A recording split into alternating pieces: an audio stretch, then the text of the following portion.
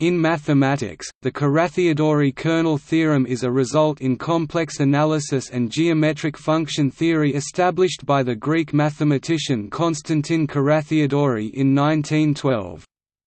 The uniform convergence on compact sets of a sequence of holomorphic univalent functions, defined on the unit disk in the complex plane and fixing zero, can be formulated purely geometrically in terms of the limiting behavior of the images of the functions. The kernel theorem has wide application in the theory of univalent functions and in particular provides the geometric basis for the Loewner differential equation.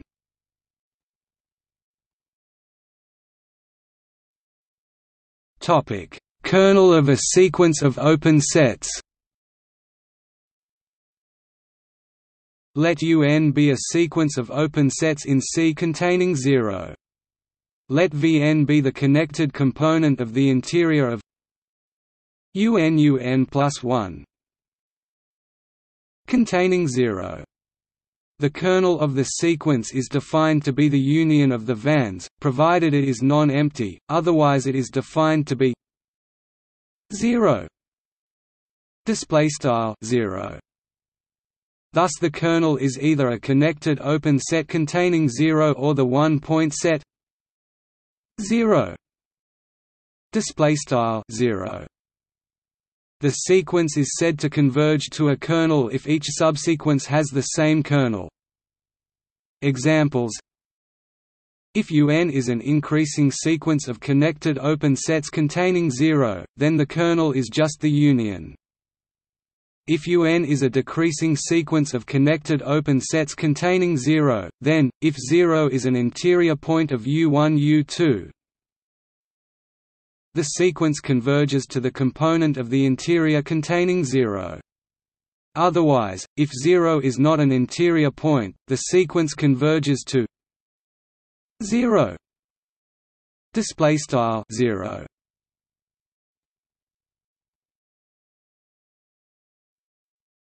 Topic: Kernel theorem. Let Fn Z be a sequence of holomorphic univalent functions on the unit disk D, normalized so that Fn 0 Topic. 0 and f 0 greater than 0 then Fn converges uniformly on compacta in D to a function f if and only if Un Fn D converges to its kernel and this kernel is not C. If the kernel is 0 display style 0 then F topic 0 Otherwise the kernel is a connected open set U, F is univalent on D and F D. U Topic. Proof.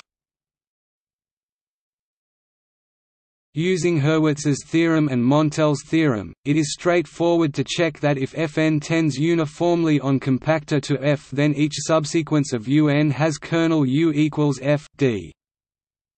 Conversely if Un converges to a kernel not equal to C, then by the Koebe-Quarter theorem Un contains the disk of radius f 0, 4 with center 0. The assumption that U does not equal C implies that these radii are uniformly bounded.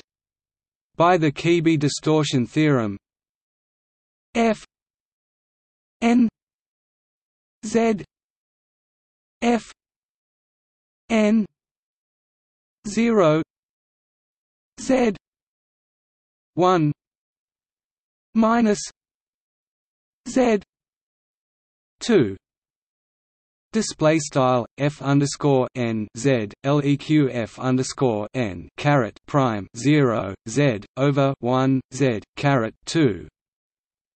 Hence, the sequence Fn is uniformly bounded on compact sets.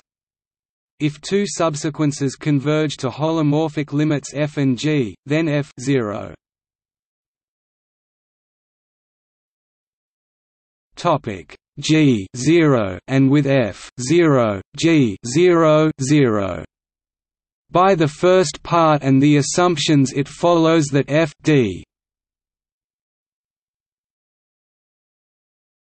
G d Uniqueness in the Riemann mapping theorem forces F equals G, so the original sequence Fn is uniformly convergent on compact sets.